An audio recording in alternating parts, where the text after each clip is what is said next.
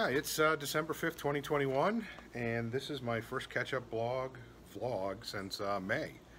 Lots been going on, lots to talk about.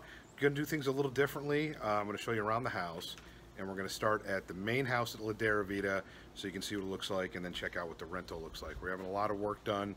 I was hoping to be done with that, uh, but it's not happening. So, where to start? So this is the front of the house. That's the driveway that comes in. And that's the front door. Two fountains. We got one there and one there.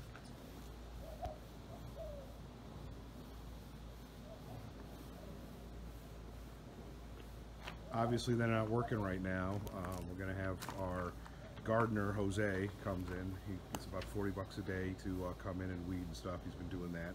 These trees were all cut down. They were up here standing over the brand new bodega and I was worried they were going to fall onto it. So we got a crew in here, uh, not the same crew that built the bodega, but this is what the inside of the bodega looks like. There's uh, the motorcycle Eskimo and the tools and the fishing stuff that I haven't taken out in a while and just storage. It's funny, you don't have anything until you have storage and then you have everything to store. But they built this bodega, did a really great job. I think I wrote about that and uh, included some pictures. We had a different crew come out, cut the trees down, and uh, now they're doing other work. So this is the front of the house, which is actually more or less the back of the house because it fronts up to this hill, and that hill is not only not ours, but it's also the back of the house. Currently having a iguana in the inside of the house which is pretty exciting. He's uh, in the roof. The roof doesn't connect to the uh, looks like to the walls, so they can slip in and out. He just makes a lot of noise. But there is the trampoline, and this hill. We hired Jose, hoping that he would use our weed whacker to um, clear this hill. I think I've shown pictures of this hill. And uh, he did it by hand with a machete, two machetes. He would sharpen them every day, two days a week. And he came out and over this in this direction is uh, where we keep our compost and we put it out there and it disappears. That is the green for hole four. Down there. And then that greenhouse is our neighbor Janice's. And that house there is a guest house. They rent it out and a lot of, a lot of people. And what am I hearing back here? I got some white-winged doves fighting it out. So over there is kind of like utility area. There's what we call the water closet where the water comes in and the water softener system that we had put in since we've been here. We've done a lot of work since we've been here. Satellite dish that we don't actually use but have not taken down. Might work on that. There's our Wi-Fi dish. That, uh, so our yard goes all the way to that tree over there. So it's a big hill, which is great for rainy season because the water just dumps off. And there's a lot of drains coming through from the house and such. And then all that area to this wall is uh, property that we're going to start gardening and stuff. Probably with Don Gabriel. He's the guy that cut the trees down. All those trees there. And uh, he's working on some steps and stuff. We'll show you in a bit. It's our septic tank. Going to cover that in back of the house, there's Maggie's bathroom, and then our closet, and then the air conditioning for this side of the house. And yeah, so uh, just to update. Um, Lakeside went fully remote, and they lost all their English-speaking teachers, probably to La Paz. They opened La Paz school, opened up a school down here, and uh, so we pulled the girls because they were they just had um, remote school in Spanish. So they all got, they got pulled. Katrina started teaching them homeschool and proved that the public school systems in the United States suck. This is the back of the house. This is Katrina's gardening center and um, a camp propane or butane uh, burner that we have that we use to uh, fry some food in there. This is the pool house. Uh, the pool is right there and it is empty. Our pool pump strainer gasket broke and apparently they don't have one anywhere in Costa Rica. So rather than trying to wrangle with that, we're going to get a new we're going to get a new pool pump, different kind, one that's pretty common here in Costa Rica. again the yard. And at the same time, we're gonna have them come in. Katrina is going to the United States next week, December eighth, I think. And uh, she's gonna pick up a, a new pool light. They're like a grand.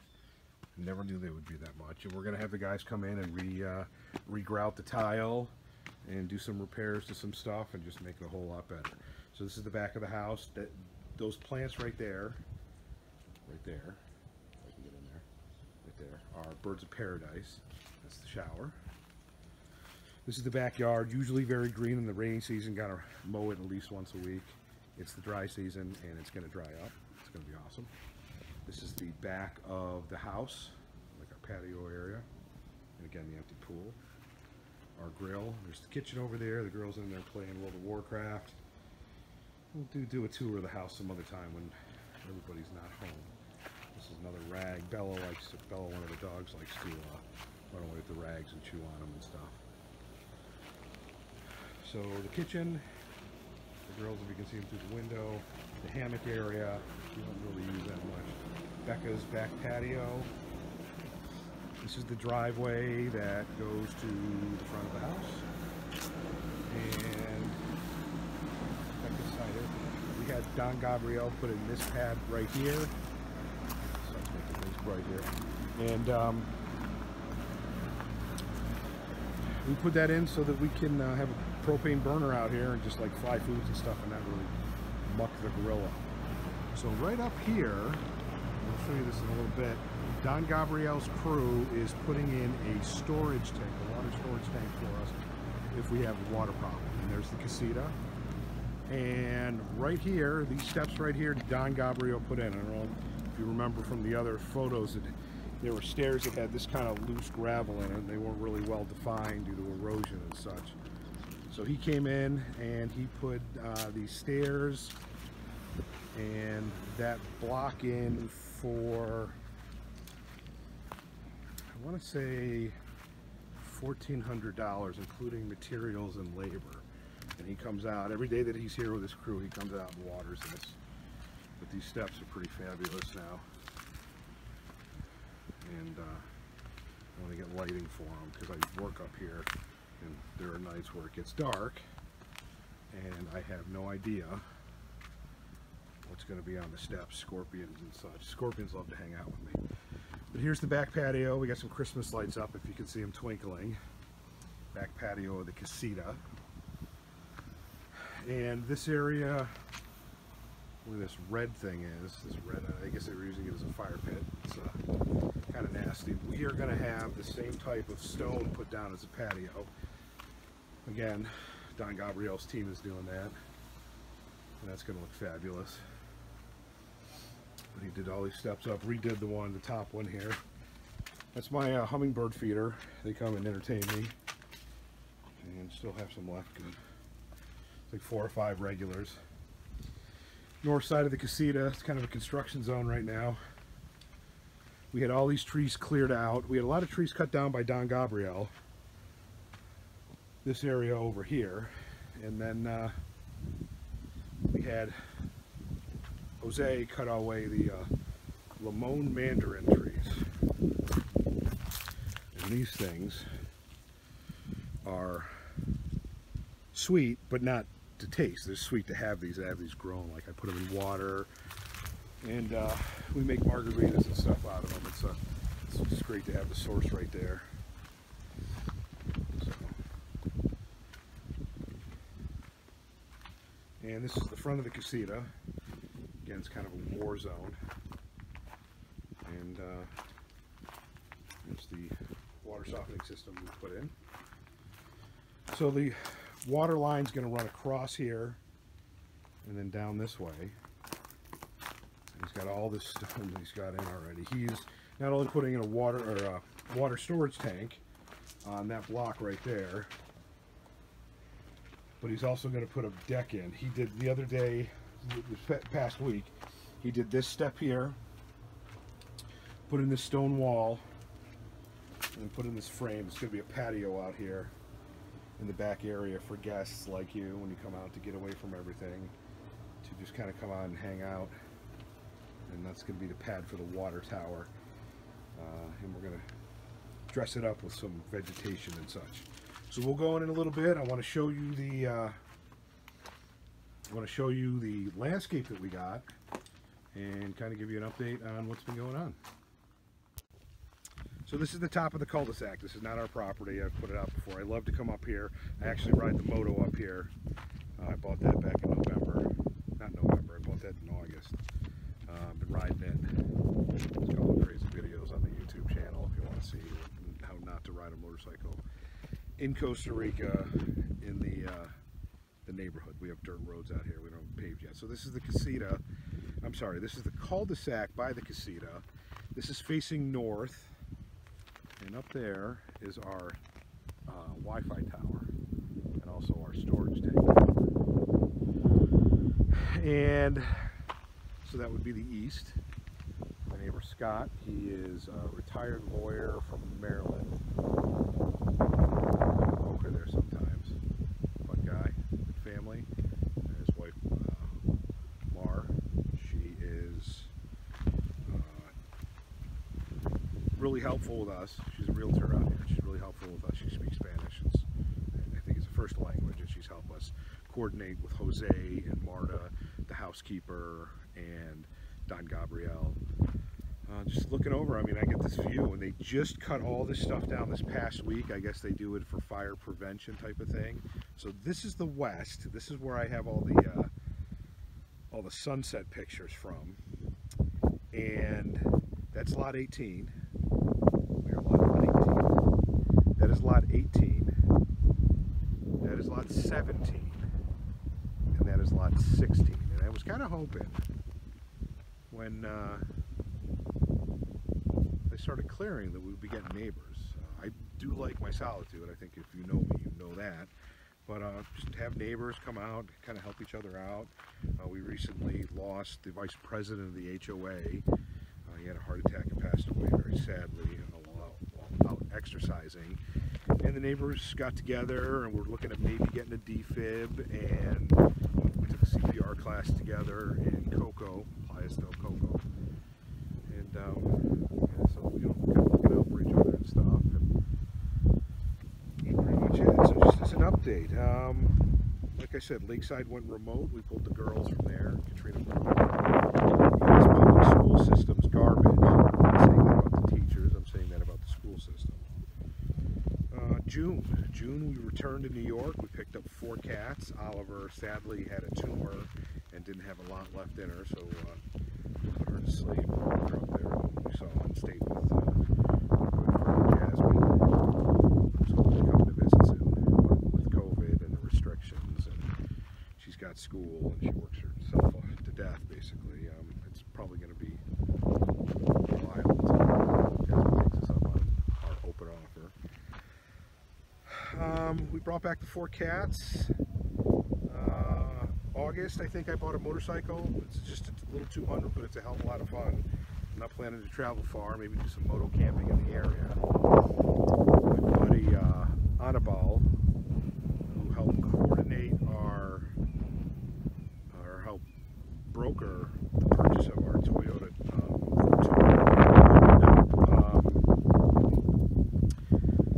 Nativos Car Rental. That's nativoscar.com. And um, he's going to have some camper vehicles available, like like you know rooftop camping, that kind of thing. I'm not sure what the equipment is, but I'm going to help him with doing a video, and uh, we're going to see what he's got. And he is booked through March right now. It's hard to find cars in the world right now due to COVID, and uh, he was able to find 15 of them, and he is booked up through March, which I think is fabulous. Unfortunately, he's also a dairy farmer, but he's going to be shutting that down and not making cheese anymore. Which kind of sucks because his cheese is pretty fabulous, but he's thinking about raising rodeo bulls. I look forward to kind of taking the opportunity to go to Costa Rica rodeo. Uh, what else are we doing? So we brought the four cats back. Uh, July, I started my doctorate program. I love it. Uh, Aspen University. I'm in the industrial organizational psychology class classes program. Uh, it's really fitting for what I experienced in um, as a police officer in a dysfunctional organization with the Rose City uh, PD. lot to talk about with that. And I'm going to get back on my blogs. I've got a couple of ones that I'd written while I was still there that are coming out. Uh, but I've got some stuff to say. I mean, some things that have happened recently, some things that have happened to personnel. Staying in touch with the guys and the girls there, and uh, hoping that they take me up on the opportunity to come out and uh, enjoy the two-bedroom, two-and-a-half bath casino. Pool just a short walk away, and the beach is nine miles from here. Either you know, the summertime, which is now, um, December, January, February, March, April, or in the wintertime, which we call the rainy season, which is May through November. You know, come see us. It's gonna be great. A lot of stuff to do out here. Um, but great. I'm 20% through. I started one class and I started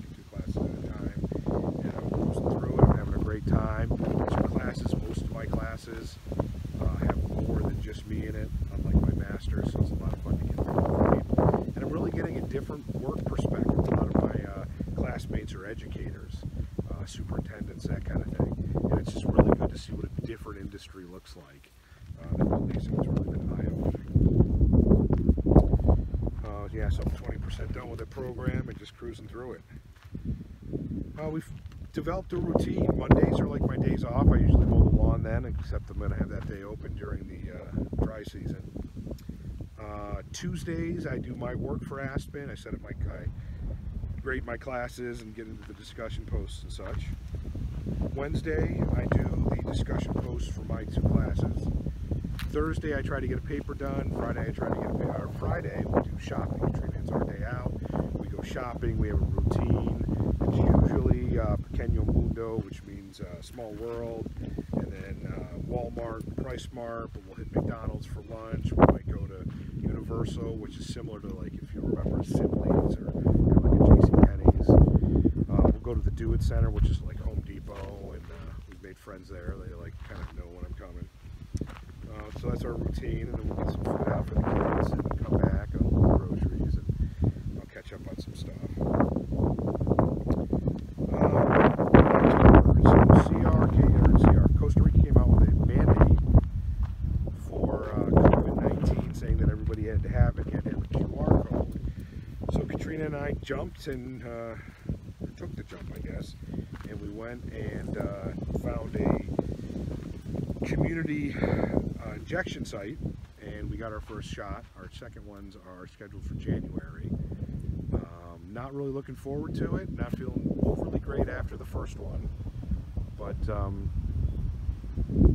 you know we'll see. Uh, they were supposed to come out with QR codes, and the, the Costa Rican courts ruled those were unconstitutional, and now they're coming out as optional. They've got a website for it, so we're going to look into it. Uh, they want to do it for the kids too, and I'm really, really not looking for that.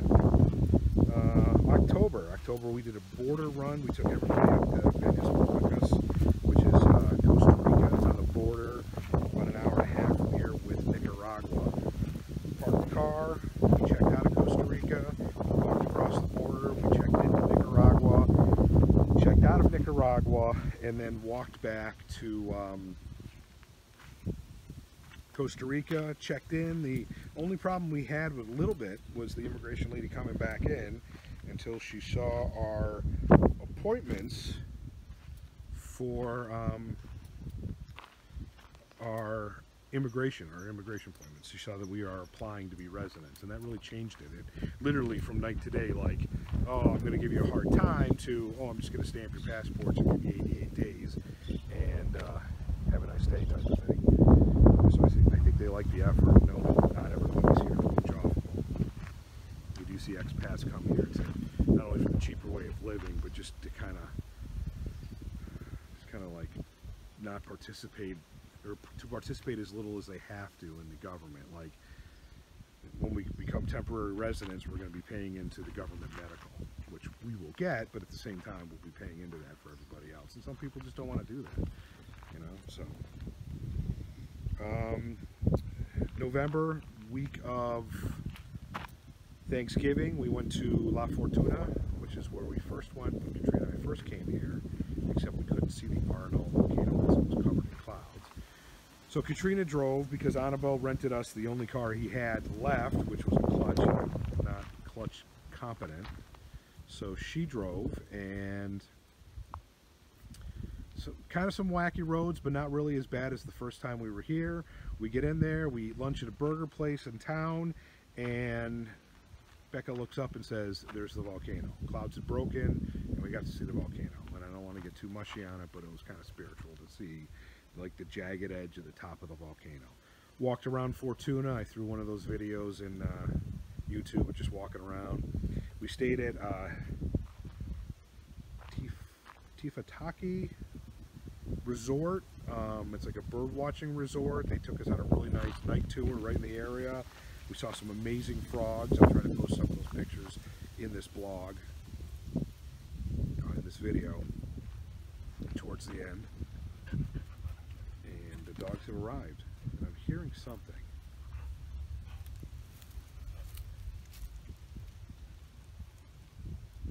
Weird, like a roaring of a jet engine, but way too close.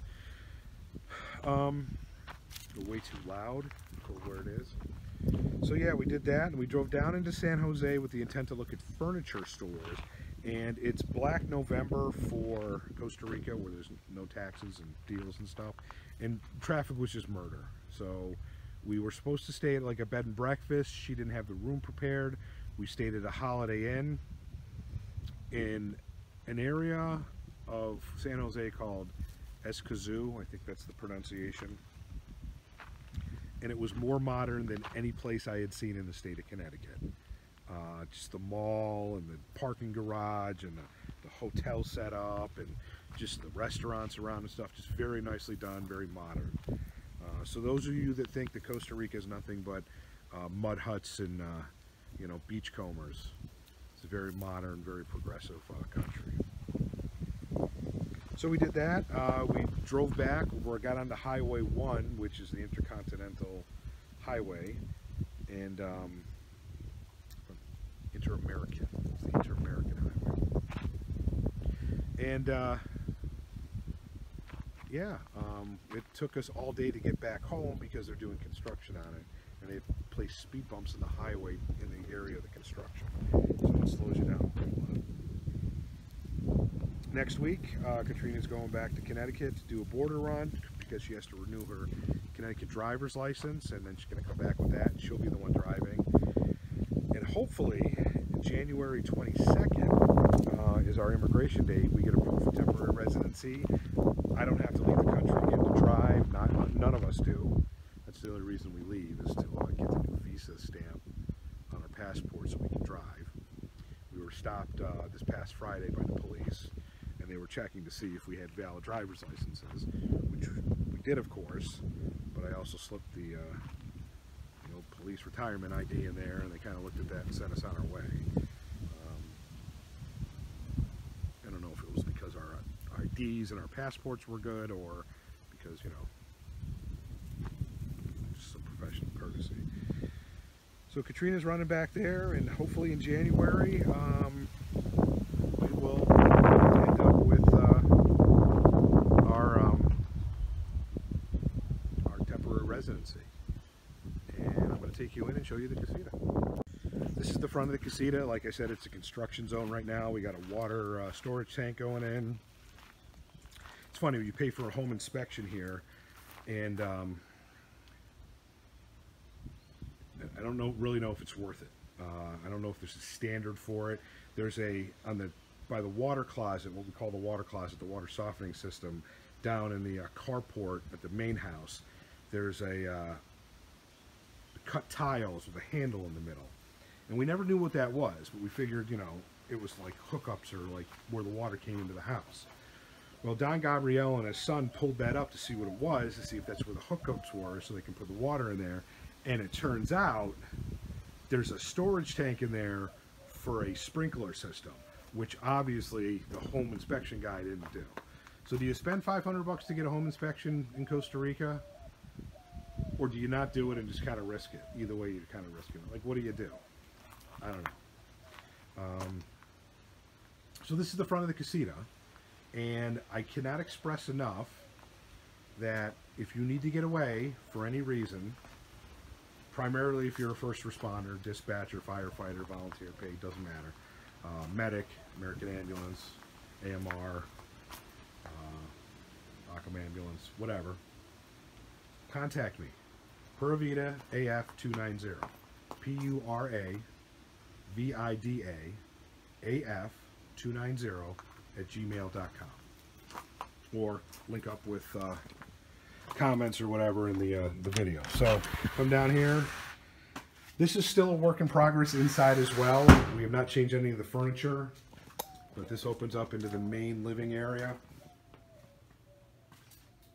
TV. We actually don't have any TVs in our house. We don't watch TV.